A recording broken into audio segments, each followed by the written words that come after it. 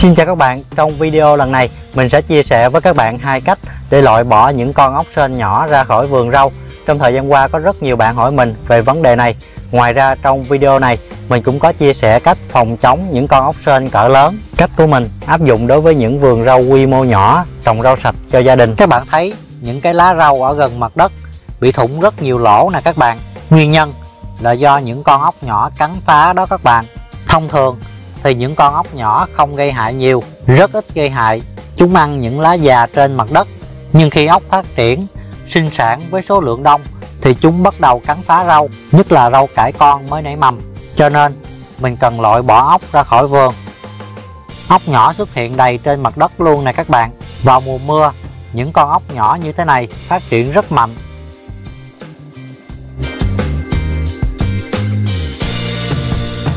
bên này cũng bị nữa này các bạn. Các bạn thấy nó đang ăn lá rau này các bạn.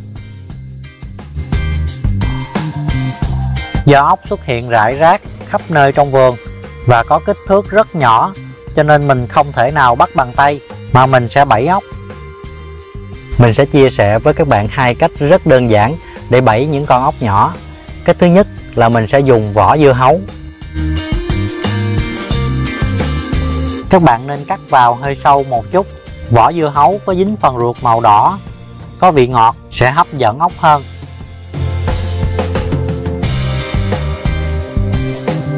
Vỏ dưa hấu bên trái sẽ dễ hấp dẫn ốc, bẫy ốc sẽ hiệu quả hơn vỏ bên phải. Mình cắt ra thành những miếng nhỏ như thế này.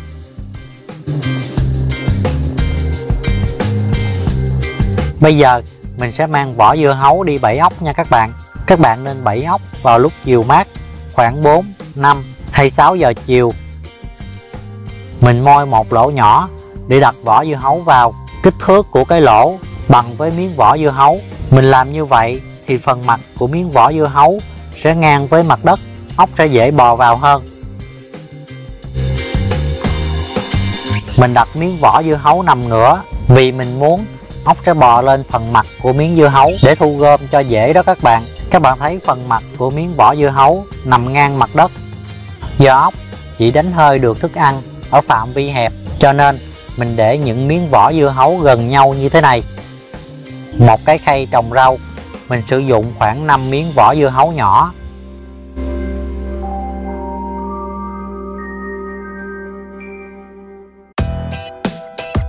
Mình đặt vỏ dưa hấu vào lúc 5 giờ chiều.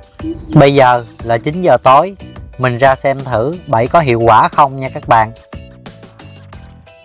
Ốc bò lên rồi nè các bạn.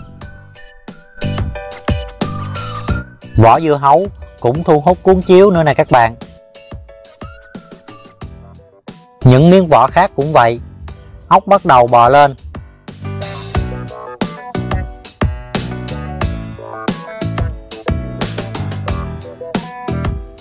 Những con côn trùng khác cũng bị thu hút con dế nè các bạn.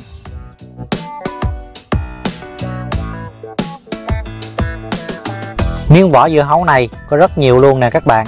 Bây giờ các bạn có thể thu gom hoặc các bạn để sáng hôm sau thu gom cũng được. Nếu như để đến sáng thì các bạn thức dậy sớm, bởi vì các bạn thức dậy quá trễ thì ốc có thể bò đi nơi khác đó các bạn.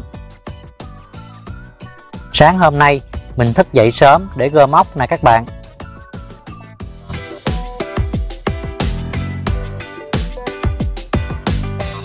Mình bỏ ốc vào trong dĩa. Mình làm như thế này để một chút mình gom ốc lại cho các bạn xem số lượng ốc bắt được. Chứ thông thường thì mình sẽ lấy một ca nước, mình nhúng miếng vỏ dưa hấu vào nước là ốc sẽ rớt ra. Miếng vỏ dưa hấu mình sẽ để lại. Chiều mình bẫy tiếp. Có những con ốc nhỏ mới nở, có kích thước rất nhỏ bằng đầu tâm. Có những con ốc nằm ở trên mặt đất, chưa bò lên thì mình dùng nhíp để gấp, hoặc các bạn bỏ qua, chiều các bạn bẫy tiếp. Những lần sau mình sẽ bắt được thôi các bạn. Bởi vì sử dụng nhíp để gấp thì sẽ tốn nhiều thời gian. Miếng vỏ dưa hấu này có rất nhiều ốc luôn nè các bạn.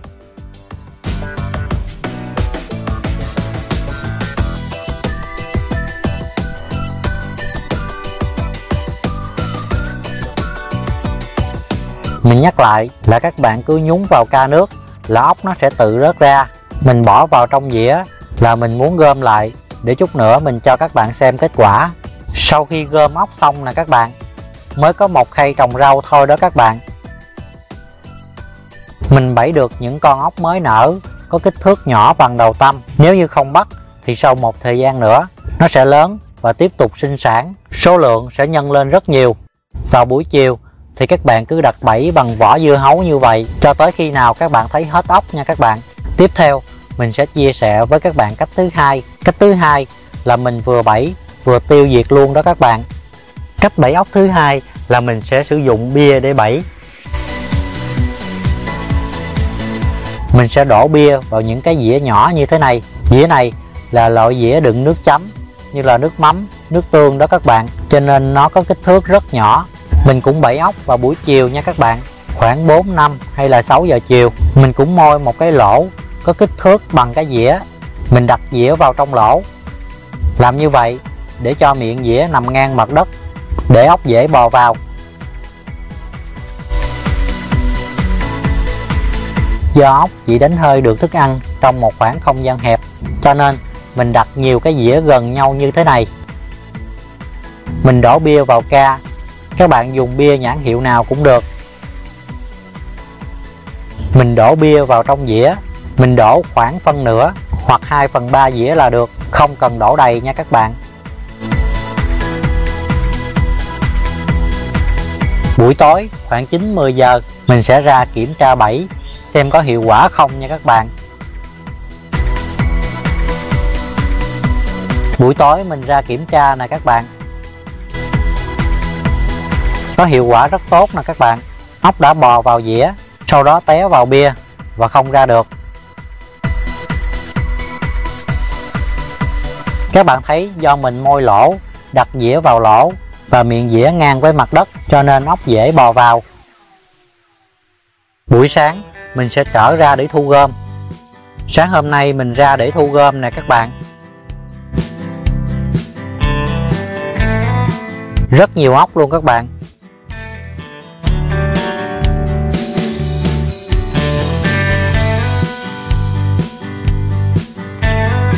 Mình sẽ đổ bỏ hết cả bia và ốc.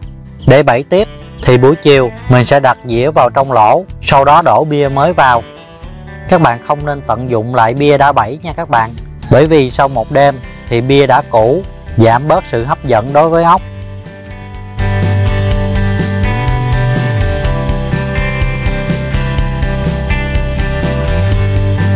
Để chống những con ốc sên cỡ lớn lọt vào vườn, thì mình có rào lưới xung quanh vườn này các bạn.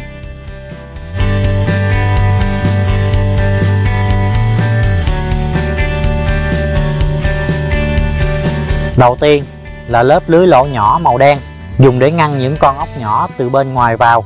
Bên trong thì mình bẫy bằng vỏ dưa hấu hoặc bia thì chỉ sau một thời gian ngắn, số lượng ốc trong vườn sẽ giảm đi rất nhiều. Lưới lỗ nhỏ được rào lên cao, còn ngăn được những con bọ dưa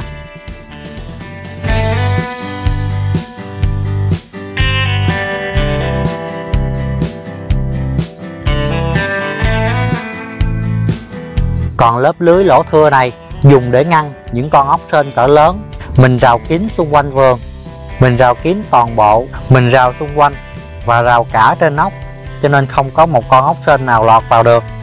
Để ngăn được ốc sên cỡ lớn, các bạn chọn mua lưới lỗ thưa có kích thước bằng hoặc là nhỏ hơn con ốc sên là được.